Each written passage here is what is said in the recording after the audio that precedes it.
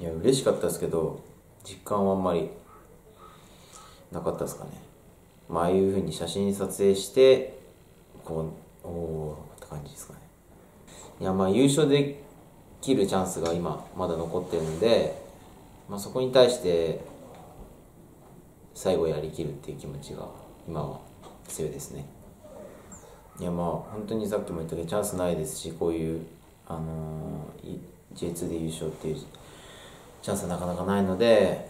まあ硬くなりすぎずに激しく戦っていければいいかなって思います。優勝しましょう。